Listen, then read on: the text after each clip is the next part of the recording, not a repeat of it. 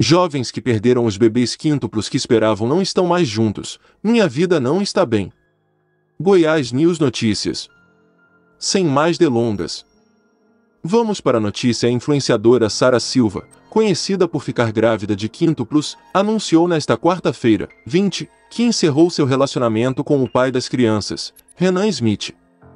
Nas redes sociais, ela compartilhou a notícia de que os dois não estão mais juntos. Menos de um mês após comunicar a interrupção repentina da gravidez dos quíntuplos, a jovem de 18 anos revelou que ela e Renan terminaram o namoro, seguindo caminhos separados em suas vidas.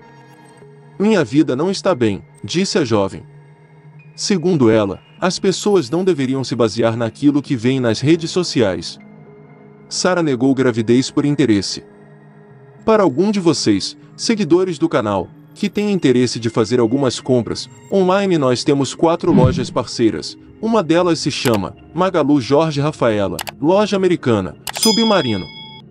Amazon, link logo abaixo.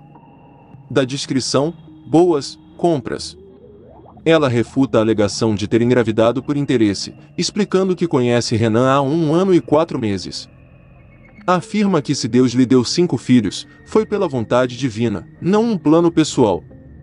Sara destaca que tudo o que está ocorrendo é uma permissão de Deus. Enfrentando ataques nas redes sociais, Sara Silva fez um apelo por respeito e esclareceu que não houve traição de ambas as partes, afirmando que a decisão de encerrar o relacionamento foi tomada porque o casal não estava mais bem.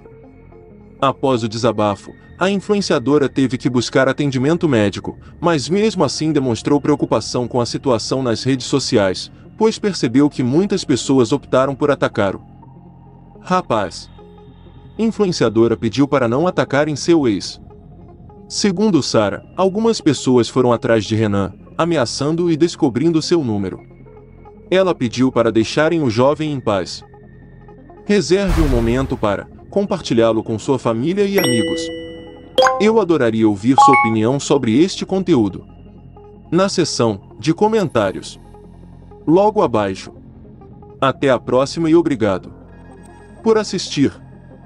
Sara disse que Renan não tem culpa do que está acontecendo. Toda essa situação se desenrola devido à saudade que ela sente das crianças.